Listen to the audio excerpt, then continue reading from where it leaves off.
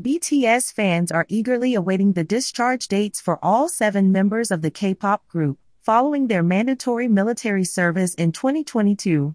South Korean law requires most able-bodied men to serve at least 18 to 21 months in the military, with athletes and classical artists often receiving special exemptions. In 2022, public debate over whether BTS members should continue military service arose, with some politicians arguing that their artistic achievements merited exemption. The debate ended in October 2022 when the band's management company announced that all seven singers plan to serve their military duties to the fullest extent possible. The discharge dates for BTS members are June 12, 2024, J-Hope, Suga, RM, Jimin, V, and Jungkook. In 2022 and 2023, BTS members departed on staggered dates for military service.